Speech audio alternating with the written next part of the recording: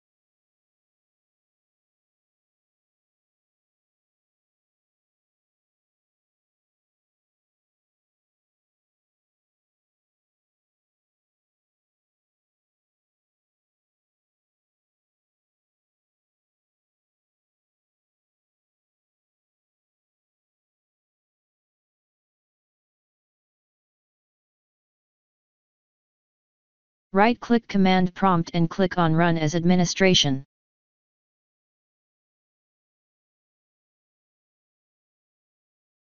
Copy and paste the command that you will find in the description of this video.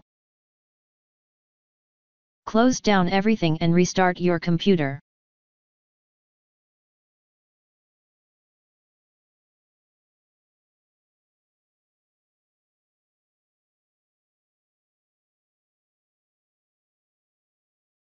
If that didn't work, creating a new power plan can help if your current plan is corrupted or not suited to your system's needs, potentially causing unexpected shutdowns.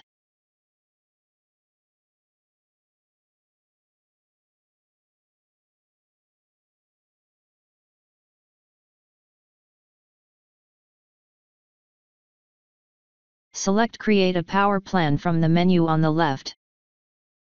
Choose a plan that best fits your use case, give it a name, and click Next. Adjust the settings according to your preference and click Create.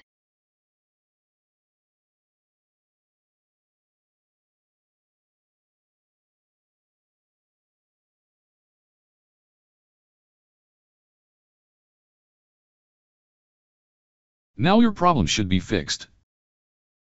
If that didn't work, System File Checker and Deployment Image Servicing and Management are tools that can repair Windows system files and restore system health, potentially resolving issues that cause unexpected shutdowns.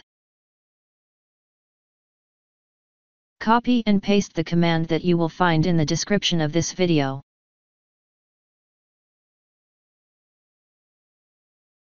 After entering all command restart your computer and try again and your problem should be fixed.